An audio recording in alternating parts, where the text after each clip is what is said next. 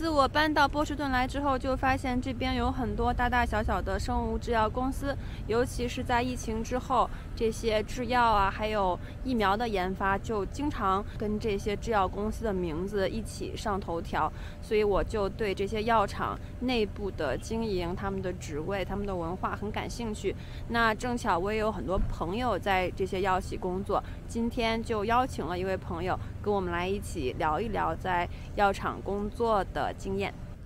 谢谢 Susan 今天接受我们的采访。呃，首先能请您自我介绍一下吗？好，大家好，我是 Susan。我现在呢是在这个呃一个 biotech 公司，一百多人的 biotech 公司做临床项目管理、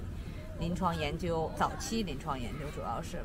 我个人的背景呢，是我在中国读的本科是药学方向的，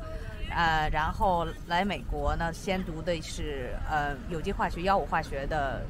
硕士，读完了两年多之后就去工作，现在工作，所以我做了很多这个临床前的早期的 discovery，就是 研发工作，然后做了有十多年，然后我中间呢就是去读了一个 MBA。就是更有兴趣在这个项目管理这方向，尤其是呃临床项目管理。英文讲的就是 clinical research，临床研究。目前来讲比较专专注于一期、二期的临床项目。这个就是隔行如隔山。当你说一期、二期、三期，其实我都不知道是什么意思。你这个工作的 title 是什么？就是 clinical research。Researcher 之类的吗？哦，我们管自己，我们管自己叫 clinical scientist。然后呢，他当然每个公司不一样。我 title associate director clinical research，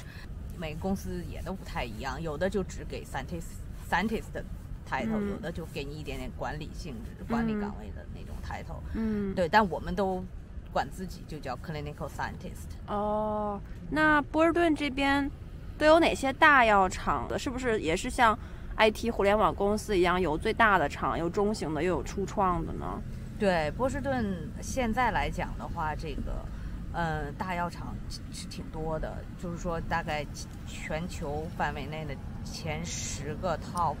Biopharma 公司，大概要有五家都在波士顿有一定的、一定规模的这个研发投入啊，或者说是更后期的投入，临床临床生产投入。Takeda。GSK、Novartis、呃，Merck，这个 Merck 是有两个 Merck，Merck 是默沙东，呃，国内比较熟悉的那，这是美美国的 Merck，然后还有一个 Merck Serono，就那个是翻译成 Merck，那是德国的，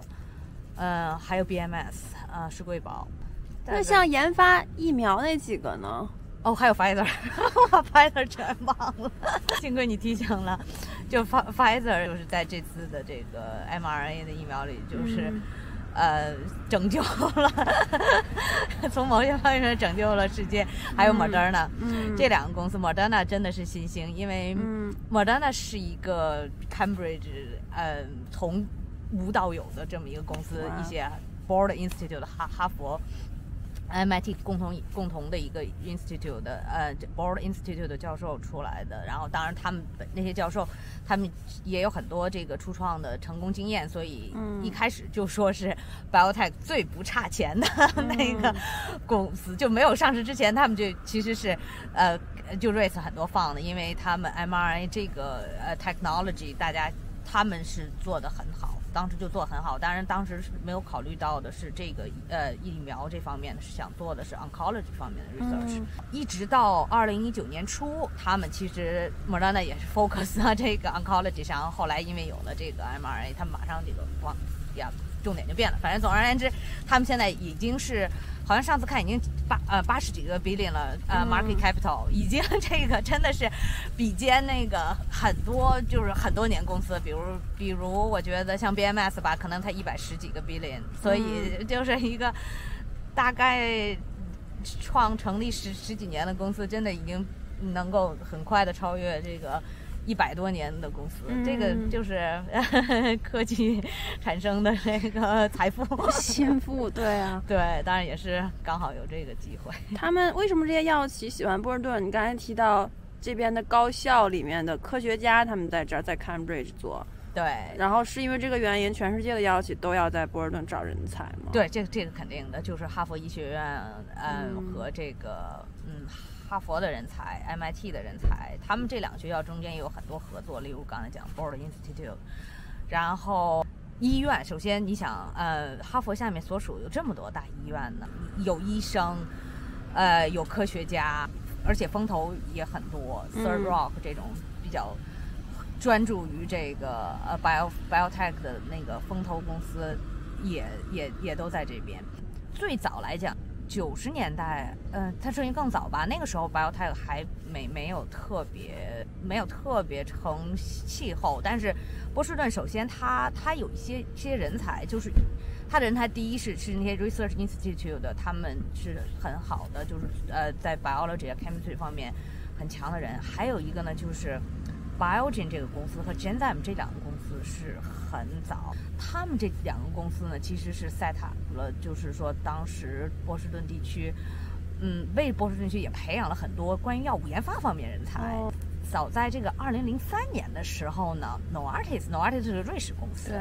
瑞士公司那时候它的美国总部是在这个新泽西，然后他们想呢，把这个研发呢，就是。离开新泽西，就是说他们的研发总部一部分是在巴豆 Switzerland 的，那肯定的是他们的总部嘛。然后另外一个当时是在 New Jersey，但是因为某种原因，他们可能想想离离开离开 New Jersey，然后他们就在在美国寻找其他地方。然后呢，麦麦麦肯锡给他们的咨询的结果是去 Boston，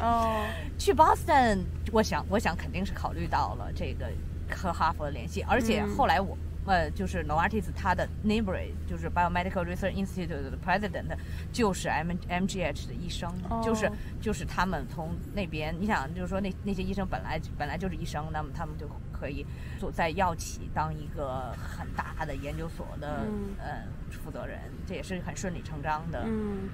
的事情，所以他们二零零三年基本上，其实 Novartis 是第一家进入 Cambridge 的大药企，做的挺成功的。然后后来就慢慢慢慢的大药企都逐渐的进来了。然后你就看，就是从这个 MIT 那一边，就是接近他们的那个 Main Campus 那一边，呃，一直到 Kendall Square 那一边，就就。建不停的建楼啊，建公司啊，建 lab 啊，对，就变化很大，就是可以说是药企改变了整个 Cambridge 的这个 dynamics。对，像加州那边，像斯坦福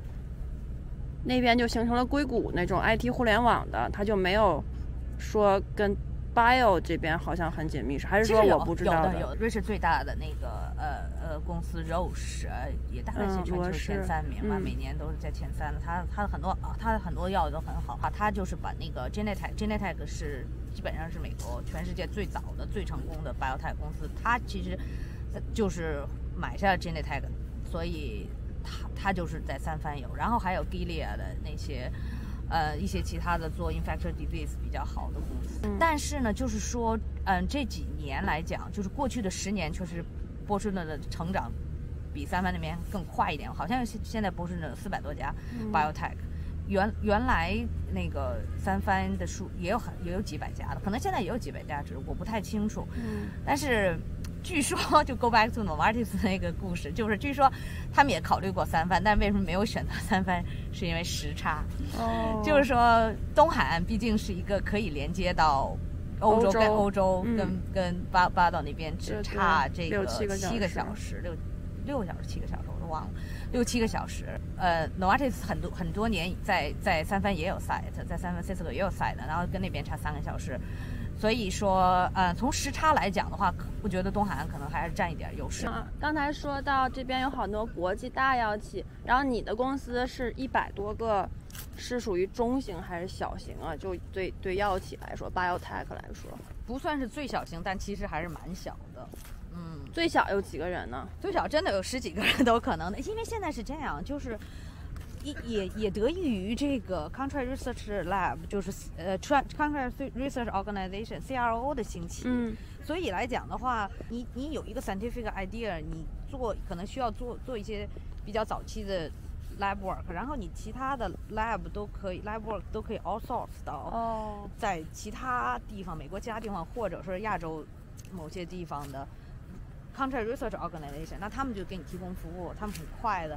把你所要的实验做出来，给你结果。那你做的，你只需要做的就是，要 interpret data，come up new idea，不停的在 research，所以对于这些 biotech 公司是非常有利的，对吧？你早期可以不计不一定要建自己很大的 lab，但是还可以做很多研究。那你说的 idea 是，我都觉得这要很神秘的，就比如说说互联网有个 idea，这个 idea 是我在。我可以做个网站，帮着父母办 birthday party。那药企的 idea 怎么能有各种 idea 呢？啊，也这，这这 idea 其实是，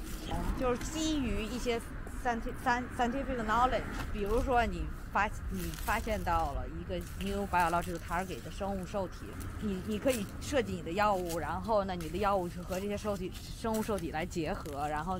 用研呃用各种实验，先先先要体外实验、体内实验啊。然后来证实你的这些 scientific 也叫 idea，其实我们也管它叫 scientific 是否或 scientific hypothesis，就是科学假设，科学假设是否成立，然后在这这都是最早期的最早期的药物研发的最开始的东西。是说，我发现了一个病，现在没什么好药去治，然后我就要针对这个病来。这是一个 idea 对，这也是，这也是一个大的，这也是这这这个 idea 很大了，就是我们管这个叫 unmet medical needs，就是没有被满足的医，就是呃医疗医学上的一些需求，病人需求，unmet medical needs，那就是那这这 unmet medical needs 这个这个往往就是 scientist 很喜欢探索的领域，但这种比较大了，你你还是要对更具体的，比如说我到底研究哪一个生物受体。我想靠我我我想要怎么样方法来作用这个生物受体，然后我能够设计出一个药物来，去真的这个和这个生物受体结合起来，然后这个发生药物疗效啊，然后呃没有太嗯严重的毒副作用啊，真的现在动物上实验上看到效果呀，看到证明是安全的呀，然后再上人体，反正整个一个过程确实说上去我们几句话说完了，但实际上。是科很多很多科学家，这个很长时间的辛苦工作，可以说是一个劳动密集型产业。只是说很多人力呢，就是说因为有有这个 Contract Research Organization CRO 的存在，这些实验过发可以发生在不在波士顿地区。那像现在你们这个公司针对的是个什么 idea？解决的是啥问题呢？我们是一个用那个。偶联抗体药，呃，卵巢癌，哦，针对某某一个癌症的某一个解决方法。对对。对，这个这个技术，这个技术就是说，它的疗效会比较好，然后它的副作用会比较专一，就是说它不会有太，它也会有副作用，但是副作用可以 predict，然后不会说太多太太广泛的副作用，然后它的疗效会会比较好，而且癌症它这个东西其实讨厌是讨厌在。很多癌症，比如说卵巢癌来讲，你可以有一期的，比如化疗手段啊，嗯，然后后来也出了比较新的那个 PARP inhibitor，就是病人会会有疗效，但是过段时间他又会复发，嗯，他复发了以后呢，你就有可能对已有的疗治疗方方法，呃，没用了，没用的时候，你你要有新的，有新的药。外面太冷了，我们现在进屋接着聊了。